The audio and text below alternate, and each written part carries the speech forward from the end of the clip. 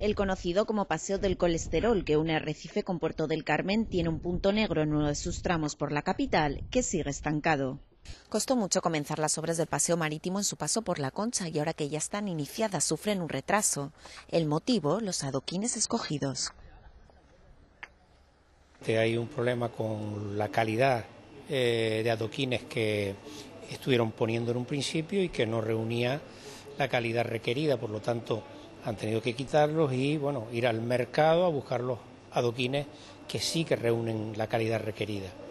Eso mm, va a demorar un poco la obra porque además, mm, por lo visto, no hay suficientes adoquines en, el fabricante, no, no, no, no dispone de ellos y por lo tanto, bueno, pues van a ir disponiendo poco a poco.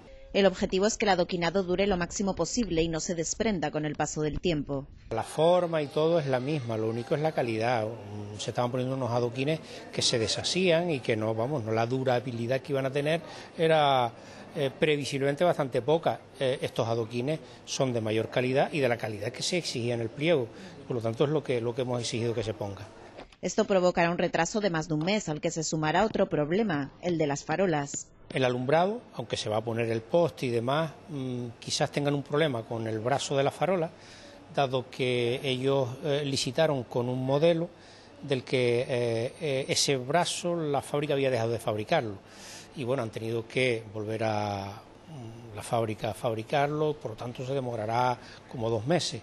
El Cabildo tendrá que analizar ahora si es responsabilidad de la empresa esta demora. Ahora contratación pues deberá de estudiar si eh, lo que ha sucedido ha sido por culpa de la empresa y la empresa no puede demostrar que así ha sido, eh, pues obviamente tendrá una sanción administrativa, porque lo que no podemos permitir es que en fin, las empresas liciten sin tener una, un mínimo rigor a la hora de ejecutar las obras.